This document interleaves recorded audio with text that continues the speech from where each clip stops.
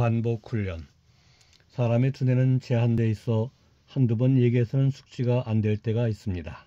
중요한 일은 반복 훈련을 통해 비로소 숙달됩니다. 그래서 운동선수들은 끊임없이 연습합니다. 기초 체력을 보호하기 위해 근력 강화 운동을 통해서 근육을 발달시킵니다.